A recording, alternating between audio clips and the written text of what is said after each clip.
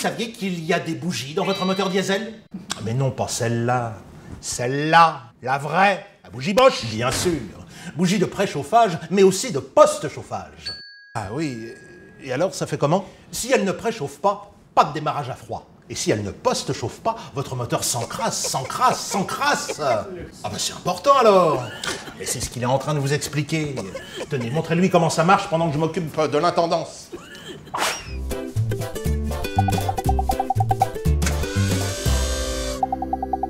Merci. Dans un moteur diesel, la bougie de préchauffage chauffe la chambre de combustion remplie d'air. Ensuite, le piston compresse l'air, puis l'injecteur envoie le carburant, et là, boum, ça explose. Alors le piston, sous son élan, descend, entraîne moteur et bielle, puis remonte, comprime les gaz vers l'échappement. Ah oui. Euh, Mais alors le, le post-chauffage, euh, il est où? Ah, c'est vrai ça, hein, il est où? Lorsque vous démarrez le matin, que vous emmenez vos enfants à l'école pour un petit trajet par exemple, ou alors... euh, votre moteur est froid, très froid. S'il n'y a pas de post-chauffage, le moteur va avoir du mal à fonctionner les premiers kilomètres. Il ne va pas brûler tout le gasoil et des dépôts vont se former et encrasser le moteur.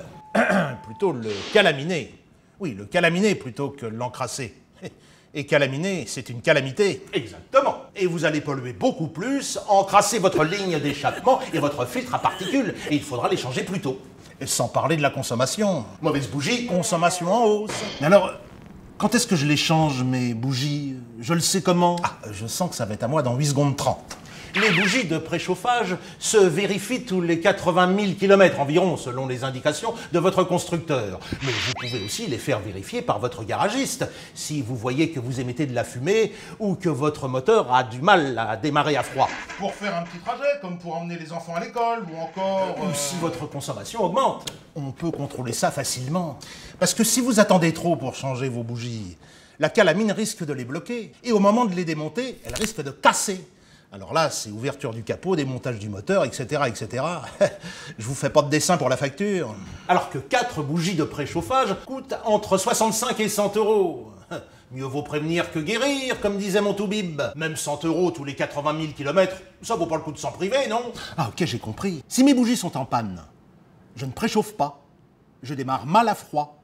Et si je ne post-chauffe pas, j'encrasse mon moteur avec tous les risques de l'abîmer. C'est pourquoi il faut les vérifier.